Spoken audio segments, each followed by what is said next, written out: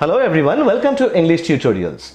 Today we are going to read and analyze The Owl, a beautiful war poem written by British poet Edward Thomas. But before beginning our main discussion, I would like to request you all to like the content if you find it helpful and if possible, please subscribe to motivate and support. But at first, let's learn a few facts about our author. Philip Edward Thomas was born in the year 1878, 3rd March, and he passed away in the year 1970, 9th April. He was a British poet, essayist, and a novelist. He is considered a war poet, although few of his poems deal directly with his own war experiences. And his career in poetry only came after he had already been a successful writer and literary critic. In 1915, he enlisted in the British Army to fight in the First World War and was killed in action during the Battle of Arras in 1917, soon after he arrived in France. Though Edward Thomas was a war poet, but unlike Sassoon or Wilfred Owen, his poems do not give us direct crude descriptions of warfare, but his poems deal with war in a very subtle way by hinting at the meaninglessness or the futility. The Owl by Edward Thomas. Downhill I came hungry and yet not starved. Cold, yet had heat within me that was proof against the north wind. Tired, yet so that rest had seemed the sweetest thing under a roof. In the very first line, the poet tells us that he was coming downhill in a night that was a chilly night rather, and he was feeling very much hungry. Though at the same time he also informed us that he was not feeling fasting or starved.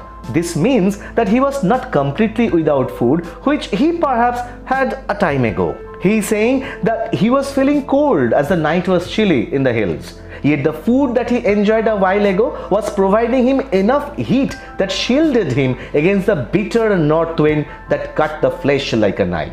Physically, he was exhausted. Therefore, a warm and cozy rest under some sort of roof seemed to him the sweetest thing at that moment. The first stanza therefore clearly tells us the physical and mental state of the poet in that night. We came to know that he was in a miserable condition due to hunger, cold and exhaustion as he was coming downhill.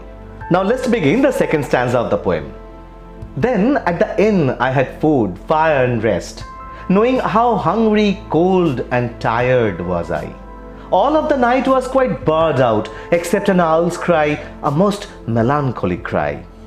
Then, like a boon, he found all that he was seeking desperately in an inn food, warmth, and rest, which made him realize in what extent he was hungry, cold, and tired. But as he was enjoying his privileges in that solitary and silent night, an owl's shriek came to him through the protection of the walls of the inn. The walls of his cozy shelter became ineffective to stop the call of the owl to penetrate.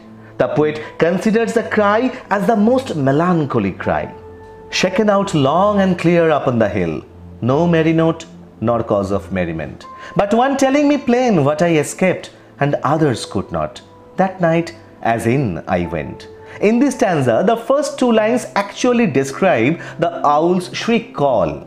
The poet is saying that in that silent mountain region, the call echoed for a long time and was clearly heard. The cry had no note of joy and elation, and the poet says that there was no cause of joy and happiness either, as the owl clearly and most poignantly reminded the poet that not everyone was as lucky or fortunate enough to evade the sufferings like him as he went into that particular inn to enjoy food, warmth, and rest. This stanza for me is the most significant one. The owl here is perhaps the messenger of humanity. The call speaks for all the deprived and suffered. It is like a wake up call for all of us who only think about our own very own personal gain or comfort, ignoring the need of mankind in general. On another level, the owl's cry symbolically means the call of the realization of one's inner self, the conscience. In the present world, mankind has forgotten all about social equality in terms of basic needs of living. They have become too selfish. Therefore, the call perhaps is a reminder that we need to stop being selfish and to think about all.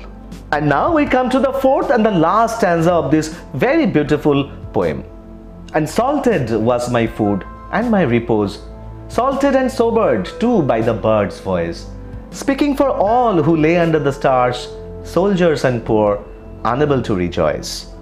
The bird's voice, the melancholy cry, the somber, gloomy voice salted his food and comfort by realizing him the overall suffering looming large.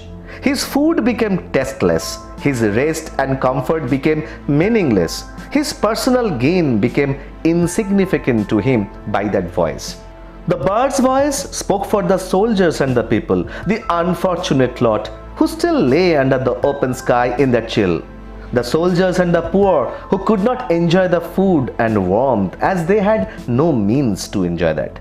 Interestingly, it is the last line that refers to the war by mentioning the soldier who are bound by duty to suffer in that chill of the night. Thus, Thomas's poem, though deals with war, it does not deal with crude descriptions of warfare, but by subtly hinting at the meaninglessness and the futility of warfare. In the end, I hope you all enjoyed the poem like I did in explaining it. If you think it can help you, then please like and share the content. Please try to give feedback and if possible, please subscribe to motivate and support. Thank you for watching.